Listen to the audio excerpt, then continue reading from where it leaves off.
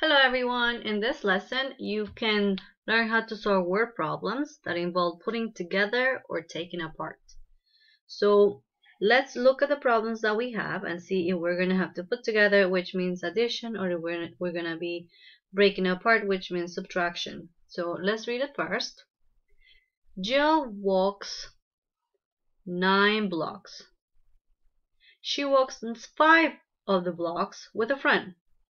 How many blocks did Jill walk by herself? Right, so we have somebody that's walking and that they walk some blocks and they walk with a friend and then, so it's a lot of things going on, but let's read it again. Jill walks nine blocks. Okay, so we look at the picture and it's telling us that this is the whole number of blocks that she walked. She walks five blocks of she five, she walks five of the blocks with a friend.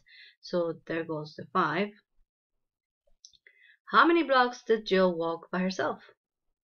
So we gotta figure out one part of the whole. That's how I want you to see it. These, this number is the whole. Everything that she walked. This is one part and this is another part. When we are looking at parts, when we are missing a part, we are doing subtraction. We have the whole, which is 9.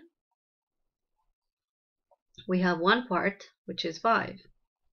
So when it is subtraction because we are missing a part. And here's the equal sign. So let's let's see what is our missing part. What will be the number that we should write on this side? So let's see. We I like to count on, so that's easier for us to figure to get to nine. So we already have five, six, seven, eight, nine. So how many how many blocks, how many unit cubes do we have here? We have four. And that is how you do the subtraction. It would be four blocks. So let's answer the question. How many blocks did Jill walk by herself? Four blocks. Jill walked four blocks by herself. You see how because you knew the whole, now you know a part, then you're missing the part. That's why you do subtraction. Let's try the next one. I want you to try it on your own and then um, you're going to do it with me. So go ahead and pause the video. Alright, so let's read it. Rita has three yellow balloons. The rest of her balloons are pink. She has seven balloons in all. How many pink balloons does Rita have? Alright, there's something happening with balloons. She has a lot of balloons, some color, another color. So let's read it again. Rita has three yellow balloons. The rest of her balloons balloons are pink. She has seven balloons in all. So let's look at the picture here. We have seven balloons in all. That's what it shows here, which is true.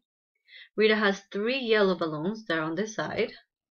And the rest of the balloons are pink. The rest. So let's see if we can count on to help us out. So we got, we have to get to seven. So we have 3 right? And we're going to count on to do to figure out how many we have left. Let's remember what we discussed on the first problem. We have the whole we have all the balloons here so that's seven right? Now we have one part and when we have one part we do subtraction because we're trying to figure out the other part.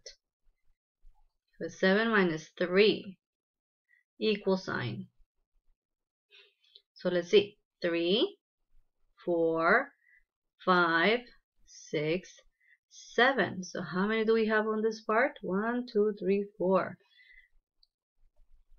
So we have four on this side.